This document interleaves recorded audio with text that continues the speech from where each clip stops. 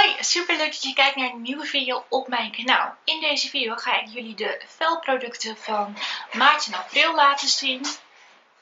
Altijd als ik een video wil opnemen mensen, gaat de kat op de kattenbak. Dat is heel vervelend. Maar goed, de velproducten van maart en uh, april. Zoals ik zei, het doosje zit best wel vol.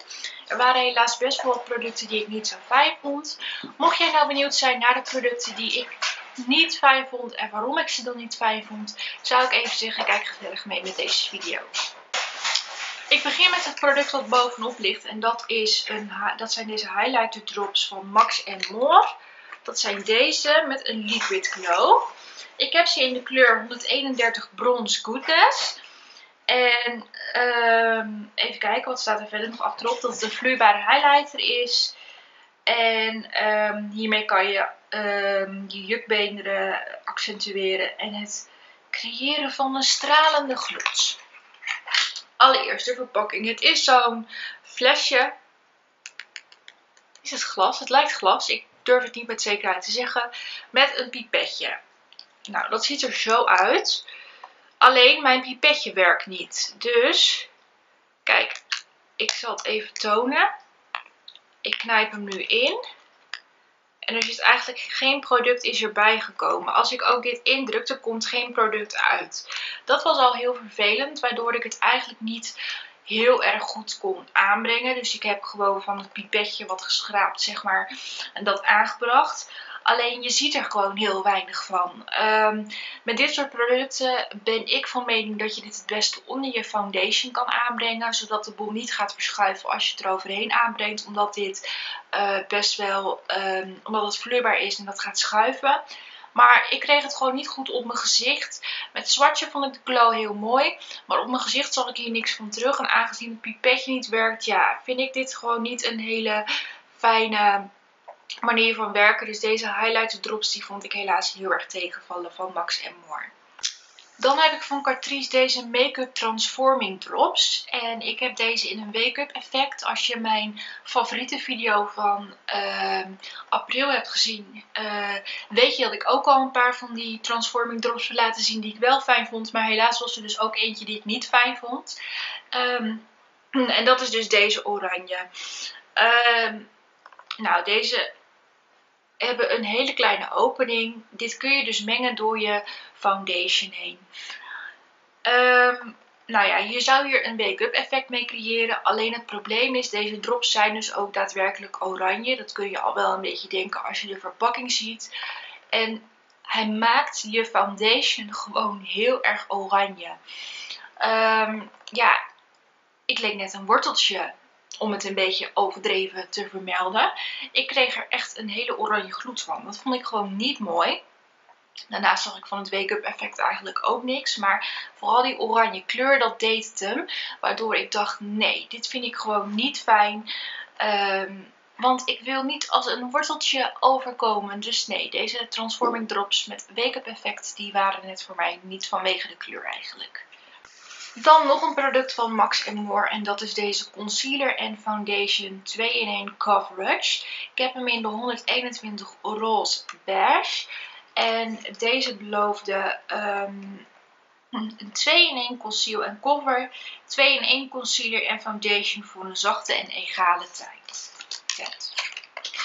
Nou, allereerst, de verpakking heb ik niks op aan te merken. Het is gewoon een basic doosje wat we gewend zijn van Max More. Uh, de kleur staat achterop de ingrediëntenlijst. Nou, niks mis mee. Openmaken. Dat is een tweede. Hij zit best wel strak. Goh, blijft moeilijk. Dan moet ik mijn nagel eronder gaan zetten. Oké, hij is open. Dit is het product. Um, het staat niet duidelijk aangegeven, maar ik ging er een beetje vanuit dat dit de concealer is en dit de foundation. De structuur van deze producten zijn best wel stroef, dus het aanbrengen gaat niet heel makkelijk. Uh, ik ben niet iemand die dit soort producten met mijn vingers graag aanbrengt. Dus ik gebruik een kwastje. Je ziet duidelijk ook wel waar ik heb gedipt. Misschien komt het op de camera minder goed over.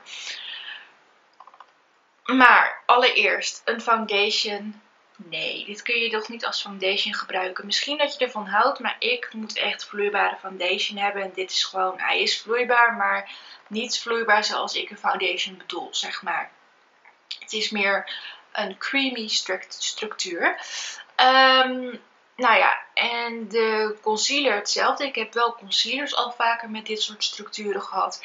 Die waren dan best wel goed. Maar deze die gaf gewoon geen dekking. Je zag er gewoon heel erg weinig van terug. En daarna kon ik alsnog eigenlijk een concealer aanbrengen. Omdat hij gewoon niet deed uh, wat een concealer hoort te doen. Dus vandaar was dit voor mij toch echt wel een uh, fail. Omdat hij gewoon niet deed wat hij beloofde helaas. Dan heb ik dit paletten van Essence. En dit is het Mix and Match Your Look paletten. Met de naam 10 Color Up Your Life. Dit is een palette die je kunt gebruiken voor je ogen, je lippen, je gezicht. Um, en deze producten hebben een creamy structuur. Er zit ook een mixing zone in. Dat is dit lege bakje. Hiermee zou je kleuren dus door elkaar kunnen mengen. Nou, zoals je ziet zitten er best wel gewaagde kleuren in. Blauw, groen. Nou, kan ik me nog voorstellen dat je dat misschien als um, een dekkend kleurtje wil pakken. Hè? Groen camoufleert roodheden. Ja, blauw kan leuk zijn als je een smurfje wil worden, maar hey. Um, ik heb hem dan ook eigenlijk niet voor mijn gezicht gebruikt. Sorry, ik ben een beetje verkouden, dus mijn stem die houdt er af en toe een beetje mee op. Maar wel voor mijn lippen. Zoals ik al zei, het zijn creamy uh, producten en ja, het pigment viel gewoon heel erg tegen. Uh, het blijft niet lang zitten op je lippen. Uh, op zich, als je het net hebt aangebracht, ziet het er mooi uit. Maar je moet echt na een half uurtje, als je gewoon wat hebt gedronken of wat, was het gewoon weggevaagd. Het zag er niet meer mooi uit. Dus vandaar dat ik dit gewoon niet echt een fijn product vond. Ook die kleuren, weet je, dit kun je nog wel voor je gezicht gebruiken. Maar blauw en groen, mensen, waar gaan we dat gebruiken? Um, dus nee, helaas was, dit, was dit palet het voor mij uh, dan ook niet. Dan heb ik van Catrice de hashtag Insta2Go Blurstick. Dat is deze. Heeft een naam... Heeft hij een naam? Hij heeft helemaal geen naam. Hij is ook maar in één kleur verkrijgbaar, dus natuurlijk heeft hij geen naam. Bovenop staat nog op Handbag Approved. Met een lichtelijk spiegeltje erin. Um, dit is dus een stick die je kunt aanbrengen onder foundation. Maar deze heeft een huidskleur. Ik ken hem vooral eigenlijk in uh, transparant. Zo ziet de stick eruit. Dit kun je dus dan zo een beetje op je gezicht zo stippen. Als een soort van basis. Maar ik vond het niet fijn. Want je zag er niks van terug. Je zag helemaal niks van dit product terug op mijn gezicht. Je kon stippen wat je wilde, maar je zag niks. Dus voor je gevoel zat er wat op, maar je zag het gewoon niet terug. Um, daarnaast vind ik de structuur niet super fijn. Um, het is best wel stroef.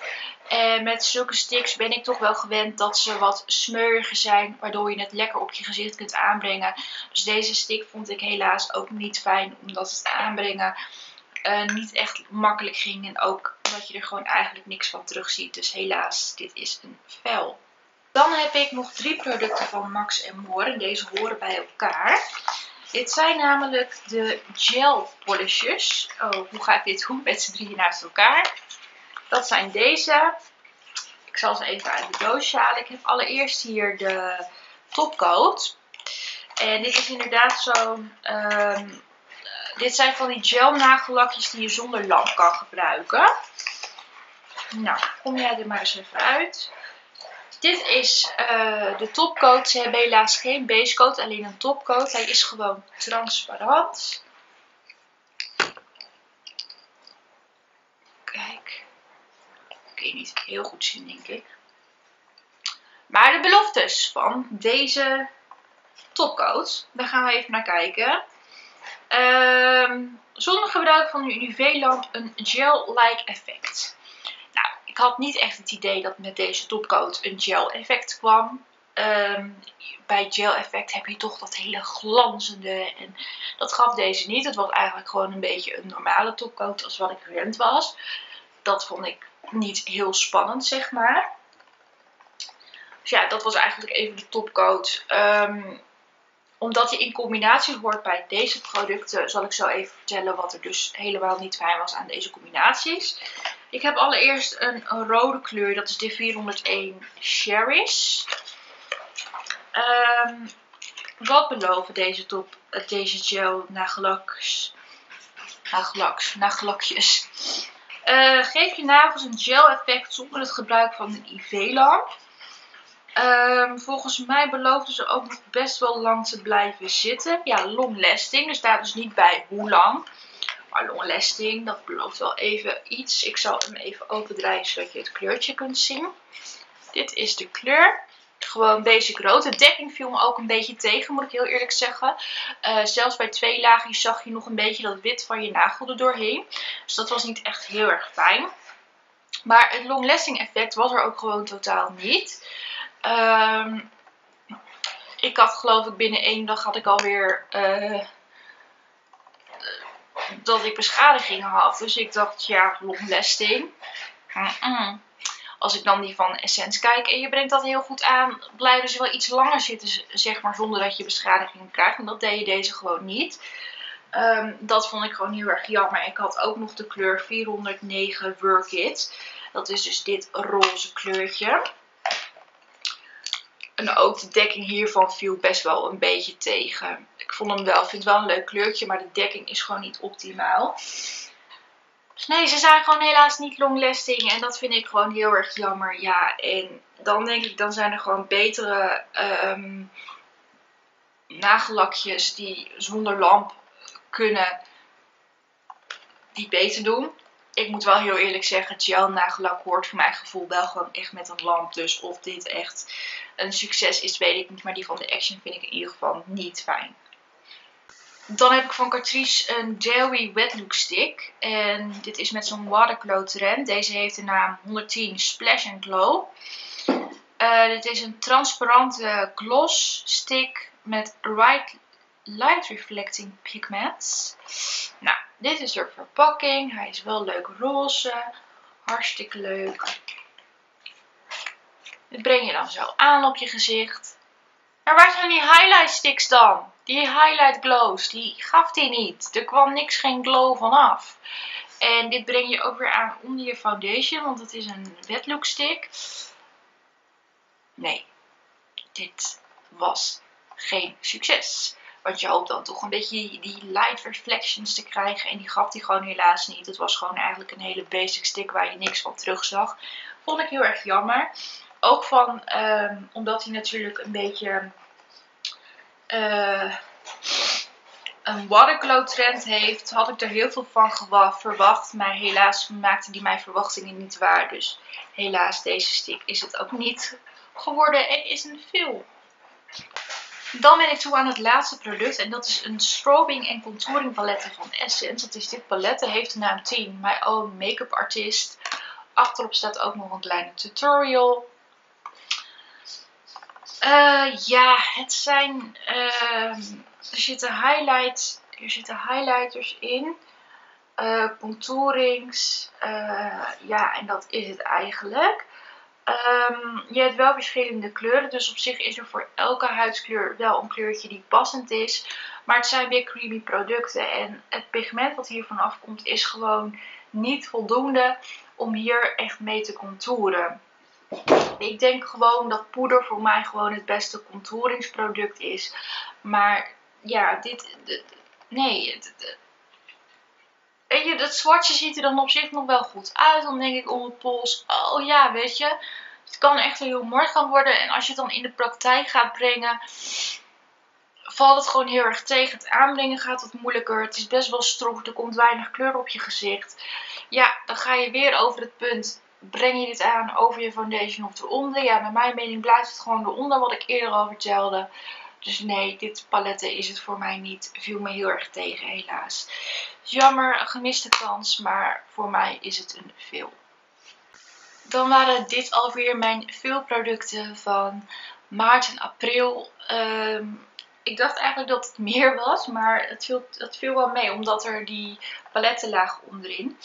Um, dus vandaar dat het meer leek ja, ik vind het altijd toch wel weer jammer dat er toch altijd weer producten zijn die ik dan niet fijn vind. Vaak zijn het wel een beetje hetzelfde soort producten zoals uh, ja, toch wel een beetje die creamy producten waar ik dan niet zo blij van word. En zoals deze. Ja, en ik was eigenlijk best wel teleurgesteld in die nagellak. Want ik had er echt een hoge verwachting van. Omdat ik die van Essence met de lamp vind ik echt geweldig. Dus ik had ook gehoopt dat deze heel erg goed zouden zijn. Helaas hebben hun verwachting niet waargemaakt voor mij. Ik ben eigenlijk wel benieuwd of jullie al wel eens producten hebben getest van wat ik heb laten zien. Misschien was jij heel tevreden. Laat het me zeker weten. Uh, ik wil je voor nu dan ook eigenlijk heel erg bedanken voor het kijken.